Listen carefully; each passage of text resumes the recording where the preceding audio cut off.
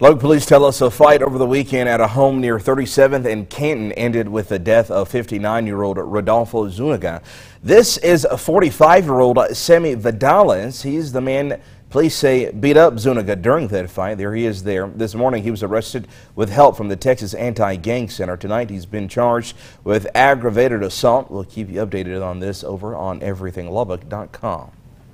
After decades of fun,